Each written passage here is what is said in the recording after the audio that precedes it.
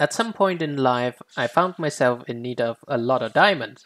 I needed to render like a bunch of pictures with a lot of diamonds in them. And I needed to do it fast. But the thing about diamonds is that uh, they're kind of expensive, you know? Even in digital form, the real diamonds kind of take forever to render. So, uh, yeah, it's uh, just not possible to make real diamonds with the project that I have been working on. So it got me thinking, how does one enjoy the luxury of diamonds without the need of diamonds? Now the solution to that question is actually quite simple. You just use fake diamonds.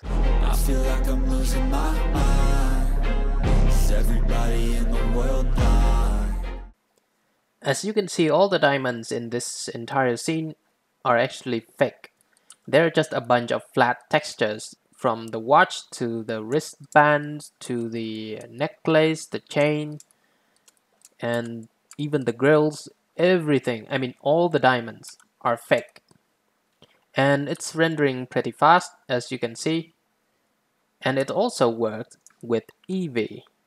Although the sparkling is not as good as in Cycles, but yeah, it works with Eevee as well. But uh, yeah, nothing beats Cycles. So in this tutorial series, I'm going to show you how to create this hexagonal diamond pattern. And uh, you can figure out how to create the rest of the diamonds.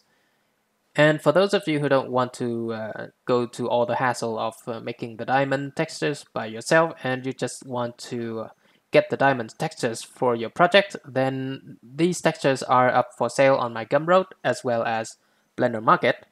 Please check it out if you need diamonds in your life. Okay, in the next video I'm going to show you how to create this hexagonal diamond pattern.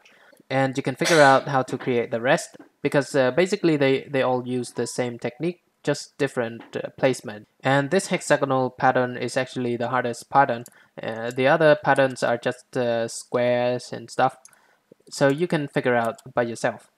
Okay, let's get started. I'll see you in the next video.